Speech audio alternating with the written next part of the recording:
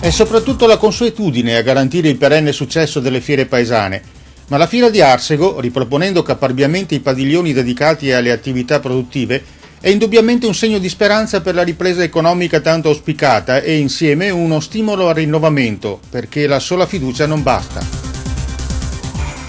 Per la prima volta alla guida della Proloco del comune di San Giorgio delle Pertiche per la 265esima edizione della Fiera di Arsego, una bella emozione e un bel onere anche, no?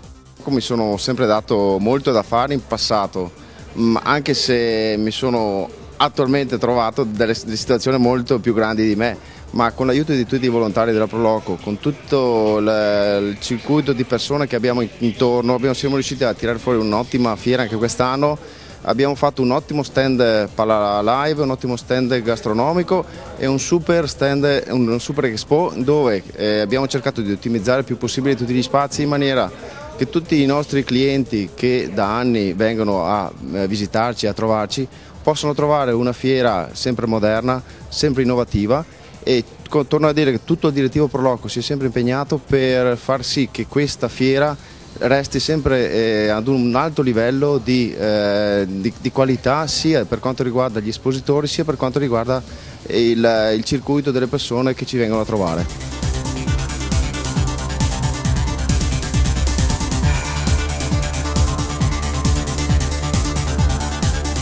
Nonostante tutto, la terza domenica di ottobre e per cinque giorni a Arsego c'è festa. Ci siamo, ci siamo anche quest'anno con tutte le attività, siamo all'interno dell'Expo che è riuscita anche quest'anno grazie all'attività della Proloco ad essere ben fornita di attività.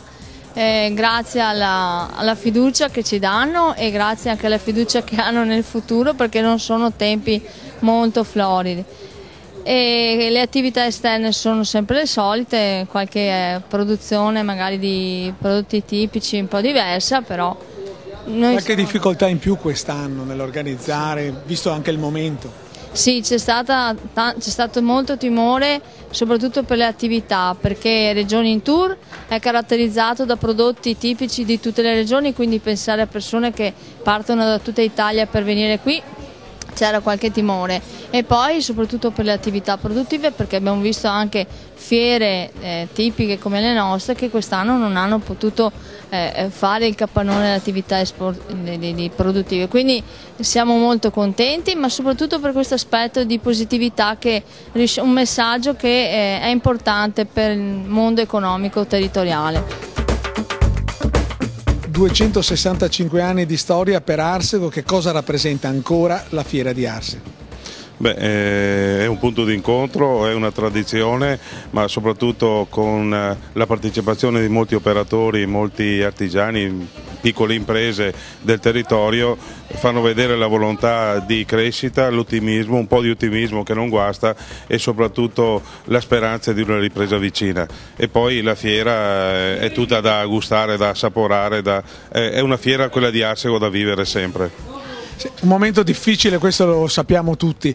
Eh, adesso i politici non è che siano tanto ben voluti diciamo, dalla gente. Che cosa può fare ancora di più la politica per aiutare questa tanto agognata ripresa e, e ricrescita economica? Ma credo che i politici devono prima di tutto dare l'esempio, eh, devono dimostrare di saper fare squadra, devono essere vicini, devono essere, vivere all'interno del territorio e soprattutto portare a livello superiore le istanze del, degli operatori economici in questo caso, ma soprattutto dei cittadini che in questo momento di difficoltà effettivamente soffrono e bisogna soffrire assieme.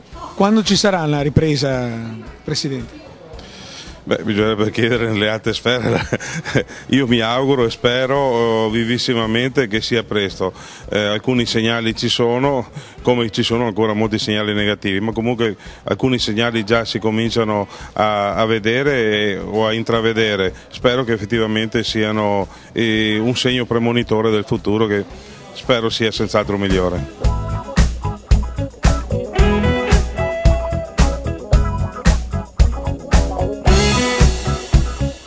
Stiamo premiando Luca Simioni in rappresentanza della pasticceria Marisa e diciamo che praticamente la particolarità di questa gelateria è che è il frutto di una generazione dal nonno alla mamma a Luca, quindi una tradizione che sfocerà però quest'anno nel febbraio 2013 in una gara mondiale di pasticceria e Luca sarà il rappresentante capo squadra della squadra italiana. Quindi sicuramente il nostro augurio, il bocca al lupo che parte da qui, dalla fiera di Arsego e i complimenti alla sua generazione, alla mamma che ha creduto in questa professione e a lui che la sta portando avanti con grande dignità.